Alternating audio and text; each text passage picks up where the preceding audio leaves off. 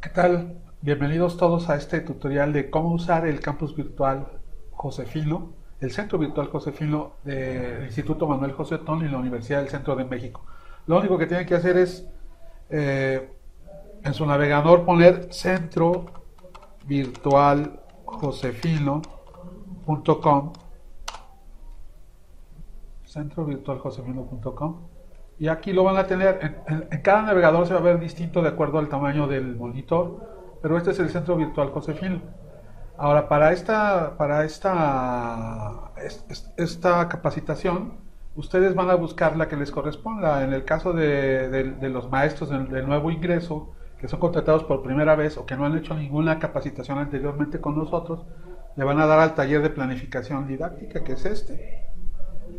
Me regreso para que lo vuelvan a ver. Es el taller de taller de, capacitación de planificación didáctica. Es esto, miren. Eh, taller de planificación didáctica, le dan clic y van a ver aquí varios módulos. Lo único que tienen que hacer ustedes es pues darle clic a cada módulo y realizar las actividades que ahí se piden. Por ejemplo, aquí miren. Ah, aquí está la, lo van a ver como si fuera un PowerPoint, ¿sí? Y van a ir viendo y van a ver todo el contenido que viene, eh, todas las actividades que se piden, los videos, etcétera, ¿sí? Ustedes van a hacer todas estas actividades. Aquí adelante hay actividades con toda esta información, les hacemos actividades de autoevaluación. Ahorita la van a ver aquí. Alguna, una actividad de autoevaluación, por ejemplo, aquí les pedimos que vean este video y luego que contesten algunas de estas preguntas, ¿verdad? Le dan aquí eh, a, la, respuesta y luego le dan checar y les dice si la, pusieron bien o la pusieron mal, etcétera. Eh, en la parte final ya que llegamos hasta la página treinta y tantos, después de varias actividades de este tipo, en la, en la página 34, en todos estos módulos o en casi todos va a venir una evaluación de ese módulo, en particular, en este caso del módulo 1. Entonces ustedes van a contestar estas preguntas de aquí. Cuando contestan estas preguntas, queda registrada su participación en este módulo. En el caso de, la, de, las personas que apenas van a ingresar a dar clase aquí en la institución, tienen que hacer del módulo 1 al módulo, al módulo 7. Ah, la mayoría de estos módulos son muy breves. El primero es un poco largo porque hablamos de la institución, de cuestiones que queremos que conozcan sobre la institución. Pero ya los, los demás son un poquito más breves. Y al final ustedes van a hacer como tarea final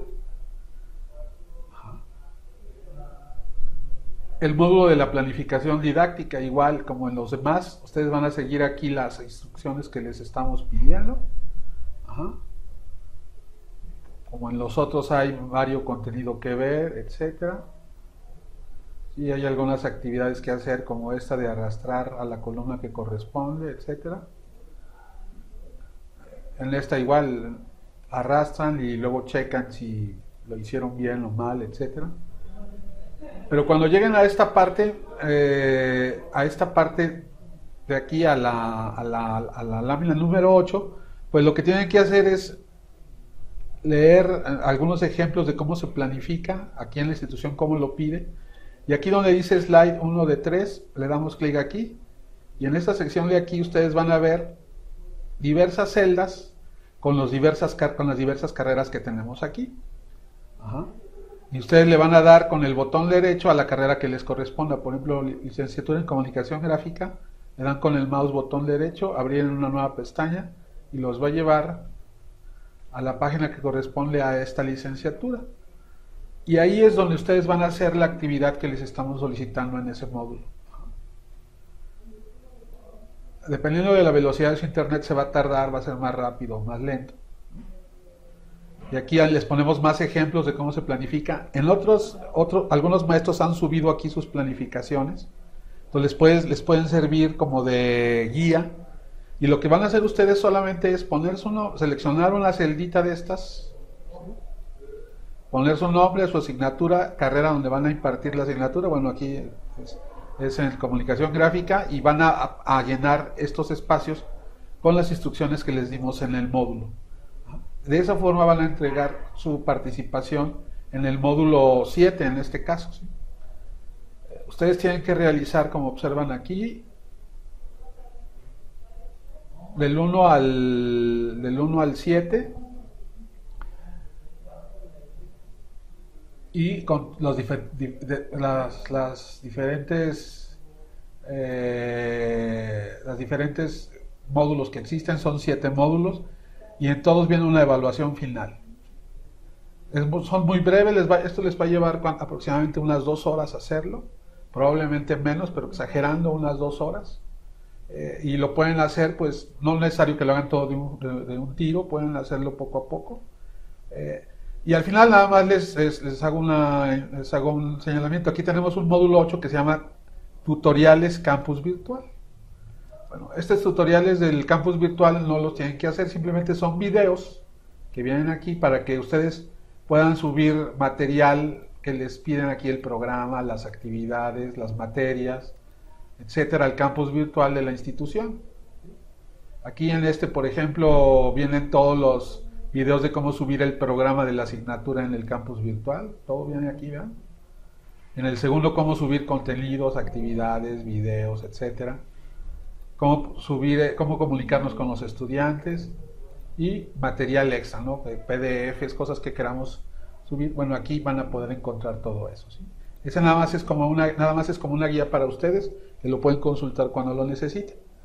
Pues eh, por mi parte es, es todo. Eh, este es el Centro Virtual Josefino. Aquí vamos a subir varias capacitaciones que esperamos les sean de utilidad para facilitar el aprendizaje de sus estudiantes. Yo me llamo Marco Carlos Ábalos, trabajo en recursos humanos, en la parte de la formación este, eh, eh, administrativa y docente. Y recuerden, le dan aquí van a ir al, a la capacitación que van a ver ustedes.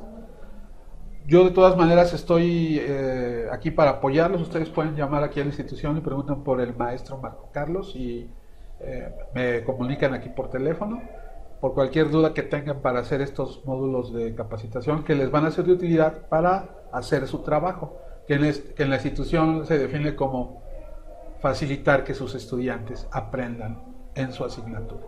Pues bienvenidos, muchas gracias por, por, por atender a este pequeño tutorial y eh, estamos aquí para servirles. Gracias.